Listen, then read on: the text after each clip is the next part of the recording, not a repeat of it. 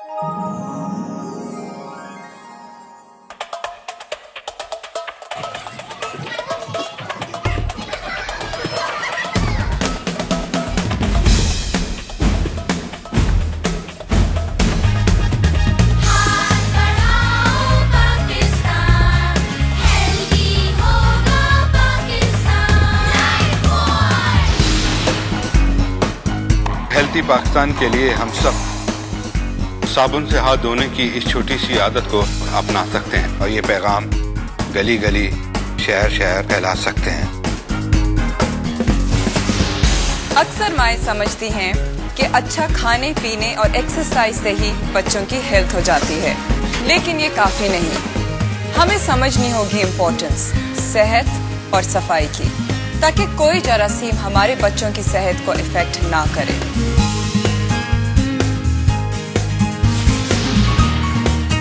सिर्फ़ साबुन से हाथ धोने से हम बीमारियाँ और जरासीम से बच सकते हैं। और हमारे हाथ ही अक्सर ज़रिया बनते हैं इन बीमारियों के जरासीम को फैलाने में।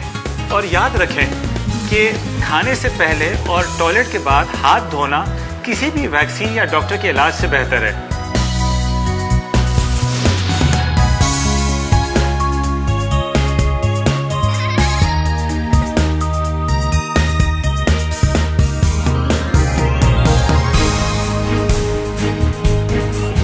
आओ और आगाज़ करो इस मुहिम का, जिसमें हमें इकट्ठे करने हैं एक महीने में एक मिलियन साइंस और साबित करना है कि हम हेल्दी पाकिस्तान बना सकते हैं।